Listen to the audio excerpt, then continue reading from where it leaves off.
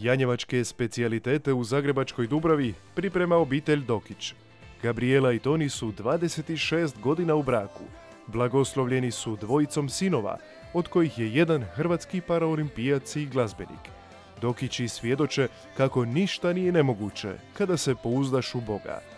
Blagoslovljen tek, večeras na Laudato televiziji.